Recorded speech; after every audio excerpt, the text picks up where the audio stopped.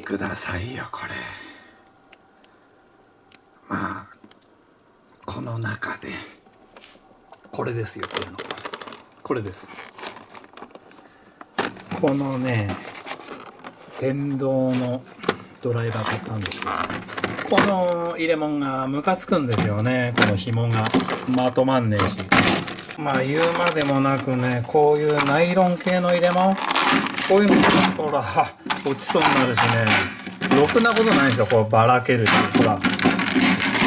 でこれ嫌なんですよこれ。ねせっかくこんなねこれ高機能のやつなんですけど、ね、転がるしね。これもうダメ。ほんとダメ。こういうねいいの買ってもねね逆回転とかできてねこういうのせっかく買ったねこんな転がってほらこんな落ちてああ落ちるとかなるんで買ってきました私入れ物。これです。あのね100円ショップでね買ってきました。はいもう結論言います。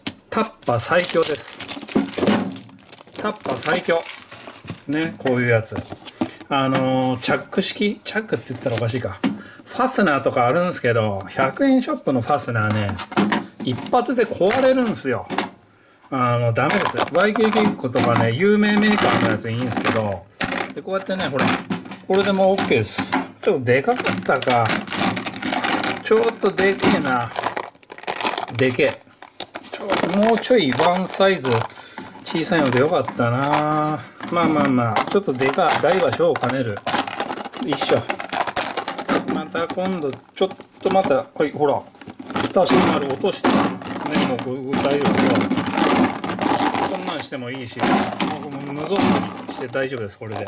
はい。見て中身わかるしもうねタッパー最強です。はい。はいこれで閉まるのに悩まずにこれでここにぶち込んどけばいいってわけです。はい。こっちの方が全然運用できますわ。でこれはぶん投げときます。はいご視聴ありがとうございました